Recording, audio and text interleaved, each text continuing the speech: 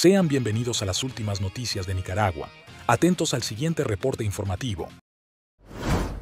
El odio y resentimiento de la pareja dictadora, Ortega Murillo, va más allá de cualquier cosa. Desde el pasado mes en el que se llevó a cabo el Miss Universo 2023, los ataques de la bruja del mal han sido desbordantes. Atormentada por el júbilo del pueblo nicaragüense, comenzaron sus ofensivas en contra de la franquicia del Miss Nicaragua, evidenciando que la alegría del pueblo despierta en ella una furia incontrolable. La dictadura de Daniel Ortega lanzó una campaña de destierros y asedio policial contra Karen Celeberti, la franquicia de Miss Nicaragua y su familia, para acallar la celebración espontánea de la población por el triunfo de la nicaragüense Chainis Palacios Cornejo, coronada como Miss Universo 2023. El régimen desterró a la empresaria y directora de Miss Nicaragua Karen Celeberti, propietaria en el país de la franquicia de Miss Universo desde 2001. Celeberti regresaba de México junto a su hija Luciana Después de participar en actividades relacionadas con el certamen internacional, y al arribar a Managua fueron obligadas a tomar un vuelo de retorno al país azteca. Posteriormente, la policía mantiene bajo asedio la vivienda de Celeberti en la capital, mientras que su esposo Martín Argüello fue capturado por la policía llevado a un destino desconocido y devuelto a su domicilio horas más tarde, y se mantiene incomunicado en su casa. La organización Miss Universo demandó al régimen sandinista que garantice la seguridad de todas las personas afiliadas a Miss Nicaragua.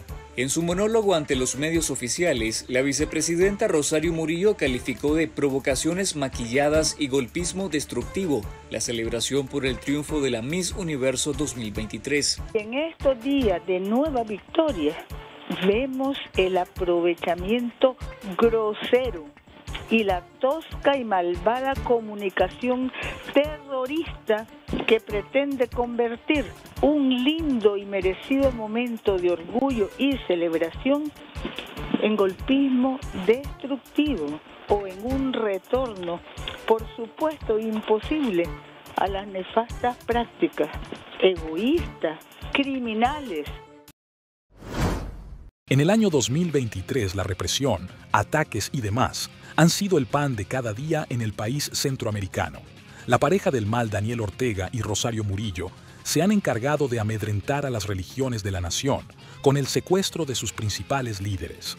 Este régimen sandinista y dictador desea a toda costa eliminar a todos los que se opongan a su método de gobierno inescrupuloso. Monseñor Marcos Díaz Prado, párroco de la iglesia Santo Tomás Apóstol del puerto de Corinto, y el padre Fernando Calero, de la parroquia Nuestra Señora de Fátima en Rancho Grande, Matagalpa, han sido los últimos dos sacerdotes que la dictadura de Nicaragua ha ordenado secuestrar a través de su policía sandinista para un total hasta el momento de cinco sacerdotes encarcelados en las últimas 48 horas.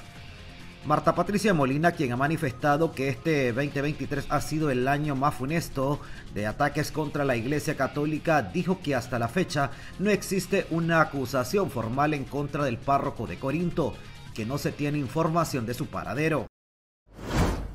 Los destierros de cientos de ciudadanos, la persecución implacable contra la Iglesia Católica, las confiscaciones y el robo de la UCA han sido los aspectos más destacados de este régimen dictatorial. Ortega, el dictador, insiste en afirmar que estas acciones son consecuencia de supuestos agentes enviados por el gobierno de Estados Unidos con el objetivo de socavar sus funciones. 2023 estuvo marcado por el recrudecimiento del Estado policial en Nicaragua, los destierros contra centenares de ciudadanos, la persecución en contra de la Iglesia Católica, las confiscaciones y el fin de la autonomía universitaria. La noticia que marcó el año político fue la excarcelación y destierro a Estados Unidos de 222 presos políticos el 9 de febrero, entre ellos los siete aspirantes presidenciales y líderes cívicos y políticos, secuestrados en el contexto electoral de 2021 y condenados injustamente por la dictadura de traición a la patria. En diferentes actos públicos, yo venía planteando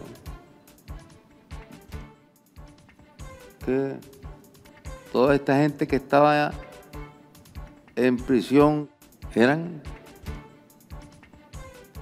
agentes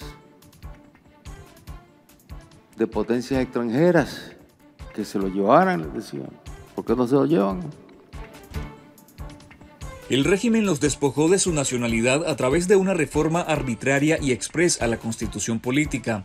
Cuatro días después, la dictadura arrebató la nacionalidad a otros 94 nicaragüenses y ordenó la confiscación ilegal de todos sus bienes inmuebles y sociedades en favor del Estado de Nicaragua. Entre los nicaragüenses declarados apátridas se encuentran periodistas, defensores de derechos humanos, activistas políticos y también reconocidos escritores como Sergio Ramírez y Yoconda Belli. Por si fuera poco, el gobierno criminal de Ortega y Murillo busca revivir los siniestros métodos del Ministerio del Interior para mantener un sometimiento constante en Nicaragua, sembrando el miedo en aquellos que se atrevan a alzar la voz contra este régimen dictatorial. La nación nicaragüense vive sumida en un clima de opresión y temor. El dictador Daniel Ortega anunció la creación de un Ministerio del Interior como el que funcionó en la década de 1980 durante la guerra, con el fin de reforzar el aparato de seguridad y defensa para impedir planes del enemigo. Ortega indicó que ese ministerio sustituirá al de gobernación y será tan fuerte como el que funcionó en el gobierno que encabezó por una década tras el triunfo de la revolución sandinista en 1979. Llega el gobierno a la derecha para buscar cómo destruirnos. Para destruirnos tenían que buscar cómo desgastarnos, cómo debilitarnos en el ejército y la policía, es decir, en el ejército y el Ministerio del Interior.